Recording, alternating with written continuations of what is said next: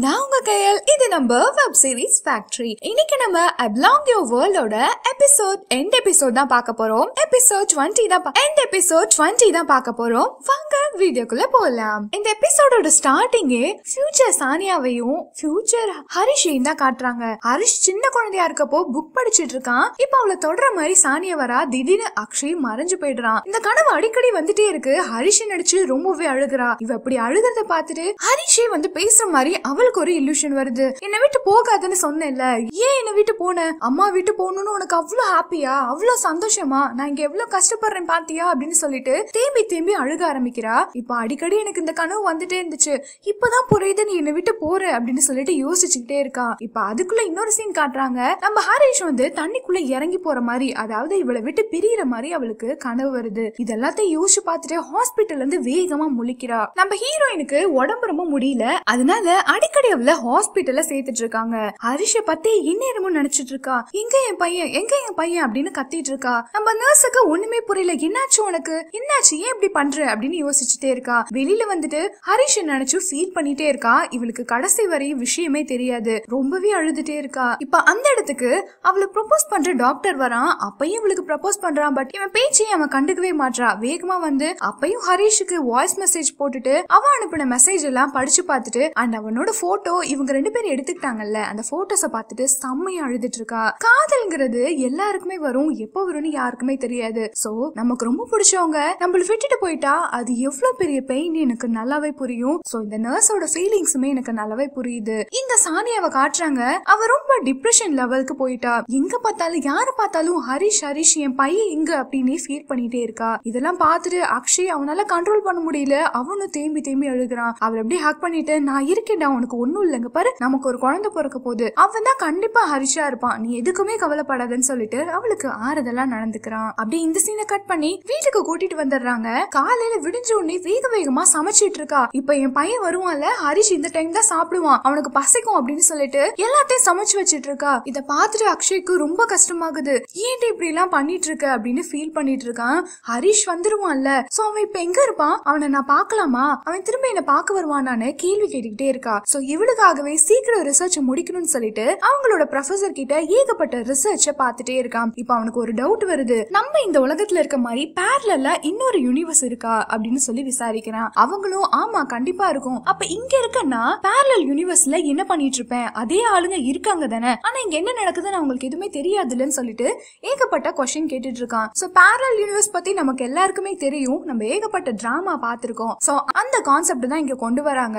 அவன் நிறைய ரிசர்ச் பண்ண ஆரம்பிக்கிறான். சோ பேரல் யூனிவர்ஸ்னு ஒன்னு இருக்கு. இங்க இருந்த ஹரிஷ் கண்டிப்பாவே அங்க இருப்பான். ஃபியூச்சர்ல இருந்து திரும்ப பாஸ்டுக்கு வர முடியாது. அண்ட் இத வேர்ல்டுல இருந்து இன்னொரு வேர்ல்டுக்கும் போக முடியாது. பட் இவங்க பண்ற ரிசர்ச் சக்சஸ் ஆனுச்சுன்னா மேபி இவங்க ஃபியூச்சருக்கு கடந்து போகலாம். ஆனா திரும்ப ஹரிஷ பார்க்க முடியாது அப்படிங்கிற உண்மை அவங்களுக்கு நல்லாவே தெரியுது. இத சாணி கிட்ட சொன்னா ரொம்பவே ஃபீல் பண்ணுவான்னு சொல்லிட்டு ஹரிஷும் மறைச்சிடுறான். அப்படி இந்த சீனை கட் பண்ணா இங்க வீட்டுக்கு வந்துட்டு ஹரிஷ் எழுதி கொடுத்த அந்த டைரியவே ஓபன் பண்ணி ஓபன் பண்ணி பார்த்துட்டே இருக்கான். அண்ட் அவ ஒரு டைரி எழுதி வச்சிருப்பால அந்த டைரி எடுத்து எடுத்து படிக்க ஆரம்பிக்கிறா. அப்ப அவளுக்கு ஒண்ணு ஞாபகம் வருது. என்ன அப்படின்னா இவளுக்கும் சீனியருக்கும் பிறந்த பையன் தானே ஹரிஷ். சோ வேகமா சீனியர் வீட்டு வாசலே உட்காந்துருக்கா ஸ்கூல் யூனிஃபார்ம் எல்லாம் போட்டுட்டு நீ என்ன ரொம்ப லவ் பண்ணல. வா கல்யாணம் பண்ணிக்கலாம். எனக்கு குழந்தை வேணும் வா அப்படின்னு சொல்லிட்டு ரொம்பவே பைத்தியம் மாதிரி பிஹேவ் பண்ண ஆரம்பிக்கிறா. இத பாத்துட்டு அவனுக்கு செம்ம டென்ஷன் ஆகுது. நீ என்ன பைத்தியமா? நீ இன்னொருத்தவனோட வைஃப் நீ எப்படி என்கிட்ட இப்படி எல்லாம் பிஹேவ் பண்ணுவ? அப்படின்னு சொல்லிட்டு கோபத்துல போயிடுறான். சானியாக்கு என்ன பண்றதுனே தெரியல. டிப்ரெஷன் லெவல் ஓவரா இருக்கு. அப்படியே சோகமா நடு ரூட்ல நடந்து வந்துட்டே இருக்கா. அவ ஸ்கூலுக்கு வந்துட்டு நான் ஸ்கூல்ல திரும்ப படிக்கணும் அப்படின்னு பேச ஆரம்பிக்கிறா. ப்ரொஃபசருக்கு ஒண்ணுமே புரியல. என்னாச்சுமா உனக்கு? உடம்பு முடியலையா? அப்படின்னு கேட்டுட்டு இருக்காங்க. அவ பாட்டுக்கு ப்ரொஃபசர் கிட்ட வந்து அழுதுட்டு இருக்கா. அப்படி இந்த சீனை கட் பண்றாங்க. இங்க அக்ஷய காட்டுறாங்க. வீட்டுக்கு வந்து பார்த்தா வீட்டுல சுத்தமா ஆள் இல்ல. டைரி எல்லாம் எடுத்து படிச்சுட்டு கண்டிப்பா எங்கேயாதான் போயிருப்பான்னு சொல்லிட்டு ரோடு ரோடா தேடிட்டு இருக்கான். பாவம். அவனும் இவ்ளோ கஷ்டத்தை தான் தாங்கிப்பான். இங்க ஒரு பார்க்கு கிட்ட வந்து உட்காந்துட்டு ஸ்கூல் யூனிஃபார்ம் போட்டு அழுதுட்டு இருப்பா. இப்ப பின்னாடி இருந்து அவளை வந்து கட்டி பிடிச்சிட்டு ஏண்டி இப்படி பண்ற? உனக்கு நான் முக்கியம் இல்லையா? உனக்கு உன் பையன் தான் வேணுமா? அப்படின்னு சொல்லிட்டு அழுக ஆரம்பிக்கிறான் அவளை எப்படியோ கன்வின்ஸ் பண்ணி வீட்டுக்கு கூட்டிட்டு வந்துட்டு திரும்ப அதே டைரி தான் எடுத்து படிக்க ஆரம்பிக்கிறா. ஒவ்வொரு டைரி எடுத்து படிக்கிறா. எல்லாமே ஒவ்வொரு லெட்டரா மறைய ஆரம்பிக்குது. இது அவளுக்கு என்ன பண்றதுன்னு தெரியல. பதட்டப்பட ஆரம்பிக்கிறான் ஹரிஷ் எங்க போன? ஐயோ மறையுது. ஹரிஷ் இங்க பாரு அம்மா ரொம்ப அழுதுட்டு இருக்கேன்டா. உனக்காக தான் வெயிட் பண்ணிட்டு இருக்கேன். அம்மாக்காக வந்துருடா. நான் ஏதாவது பண்ணிக்க வேண்டாம்னு சொல்லிட்டு அவ பாட்டுக்கு லூஸ் மாதிரி பெனாத்த ஆரம்பிக்கிறா. இத ஹரிஷ் பார்த்துட்டு தலையில கை வச்சுட்டு ஐயோ ஐயோன்னு அடிச்சு பிடிச்சிட்டு அழுறான் அவனால என்ன பண்ண முடியும்? உயிருக்கு உயிரா லவ் பண்ண ஒரு பொண்ணு பைத்தியக்காரி மாதிரி பிஹேவ் பண்ணா அவனால என்ன பண்ண முடியும்? இந்த ஃபீலிங்ஸ நம்மளாலையும் புரிஞ்சுக்க முடியும். சோ இது ரொம்பவே ஹார்ட் டச்சிங்கான சீனா போயிட்டு இருக்கு பாக்குற நம்மளுமே கண்டிப்பா அழுகுவோம். இந்த எபிசோட் நம்மளையுமே அழுக வைக்கும் தான் நினைக்கிறேன். அப்படி இந்த சீனை கட் பண்ணி இங்க நர்ஸ காட்டுறாங்க.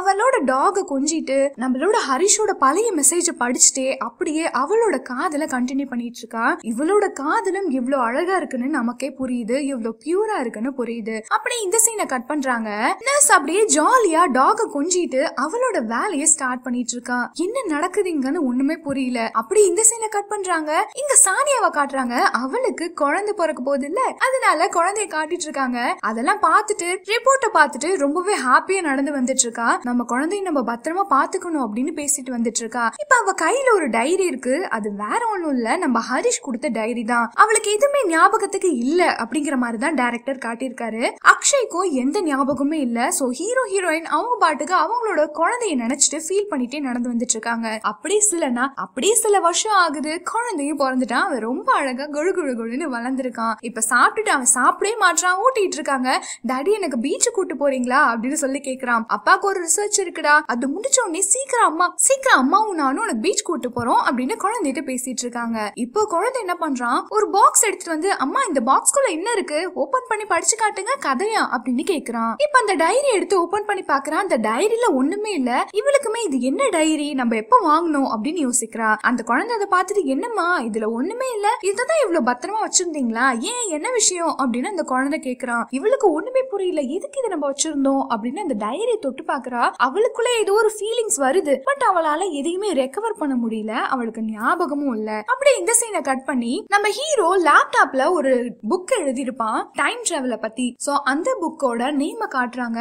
ஐ பிலாங் யூ வேர்ல்ட் அப்படின்னு சொல்லிட்டு கீழே நேம் இருக்கு ஹரிஷ் அப்படின்னு நேம் போட்டிருக்கு. அப்படி இந்த சீனை கட் பண்றாங்க. அடுத்து அவ ஒரு நல்லபடியா ரிசர்ச் முடிச்சிட்டா அப்போ உன்னை பீச் கூட்டு போறேன்னு சொல்லியிருப்பான் இல்லையா? அந்த சீனை தான் காட்டுறாங்க.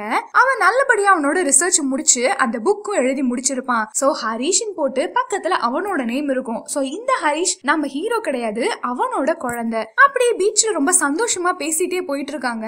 இவ ரொம்ப வாழுங்க. சொல்ற பேச்சே கேட்க மாட்டான் அப்படின்னு கியூட்டா பேசிட்டு இருக்காங்க. சோ இப்படியே சிரிச்சு பேசிட்டு வந்துட்டு இருக்கப்ப அந்த குட்டி பையன் ஒரு பையன் மேல போய் இடிச்சிடுறான். யாரான்னு பார்த்தா அது நம்ம ஹரிஷ். அவனுக்கும் யாருன்னு தெரியல நம்ம சானியாக்கும் யாருன்னு தெரியல அக்ஷய்க்கும் யாருன்னு தெரியல. ஓ உங்க பையனா? ரொம்ப கியூட்டா இருக்கான் அப்படின்னு சொல்லிட்டு பேரை கேட்டுக்கிறான். பேர் அந்த பையன் ஹரிஷ்னு சொல்றான் பட் நம்ம ஹீரோ ஹரிஷ்க்கு எந்த ஃபீலிங்ஸுமே இல்ல. ஓ ஹரிஷா நல்ல பேர்ரா நல்லா படிக்கணும் அப்படின்னு சொல்லிட்டு அவன் பாட்டுக்கு போறான். இப்ப கொஞ்சம் தூரத்துல போய் ஹரிஷ திரும்பி பாக்குறான் சானியாவும் திரும்பி பாக்குறா அவங்க ரெண்டு பேரும் ஒருத்தருக்கு ஒருத்தர் யாருன்னே தெரியல பட் உள்ளுணர்வு ஏதோ ஒரு கனெக்ஷன் உள்ளக அவங்க ரெண்டு பேரையும் ஜாயின் பண்ணுது அப்படிங்கறத நம்மளால உணர முடியுது. தூரத்துல பாருங்க அங்க ஒரு பொண்ணு யாரு தெரியுமா? அது யாரு அப்படின்னு டைரக்டர் நம்ம கிட்ட சொல்லல. நம்மளே கற்பனை பண்ணிக்கலாம். அந்த பொண்ணு வேற பொண்ணா கூட இருக்கலாம். இல்ல நம்ம நர்ஸுக்காகவே அவ நம்மள இவ்வளவு லோ பண்றாளே அவளுக்காக திரும்ப போலாம் அப்படின்னு திரும்ப டைம் டிராவல் பண்ணிருக்கலாம் இல்லனா இதே யூனிவர்ஸ்ல ஹரிஷ் அப்படின்னு இன்னொரு கேரக்டர் இருந்திருக்கலாம். இது என்ன அப்படின்னு நம்ம கற்பனைக்கே டைரக்டர் விட்டுட்டாரு. சோ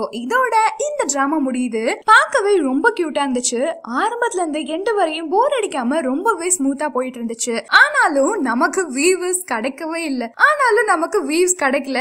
ஏன் அப்படின்னு தெரியும். நான் பண்ண சின்ன தவறுகள்னால நம்மளோட ஃபேமிலிஸ் எல்லாம் கொஞ்சம் அப்செட் ஆயிட்டு வேற சேனலுக்கு போயிட்டாங்க. சோ திரும்ப நான் ரெகுலரா போட போட போட நம்மளோட ஃபேமிலிஸ் நம்ம கிட்ட வருவாங்கன்னு எனக்கு ஒரு நம்பிக்கை இருக்கு. சோ நான் ரெகுலரா வீடியோ போடுறேன். நெக்ஸ்ட் ஒரு சூப்பரான டிராமா இருக்கு. அதையும் கண்டிப்பா நான் சீக்கிரமே அப்லோட் பண்ணிடுறேன் நீங்க எனக்கு சப்போர்ட் கொடுத்துட்டே இருங்க. நான் உங்களுக்கு புது புது கியூட்டான காதல் டிராமா அண்ட் காதல் டிப்ஸ் கூட சொல்றதுக்கு ரெடியா இருக்கேன். ஓகே ஃப்ரெண்ட்ஸ் நம்ம வீடியோஸ் உங்களுக்கு பிடிச்சிருந்தா லைக் பண்ணுங்க கமெண்ட் பண்ணுங்க. மறக்காம சப்ஸ்கிரைப் பண்ணிடுங்க. Okay bye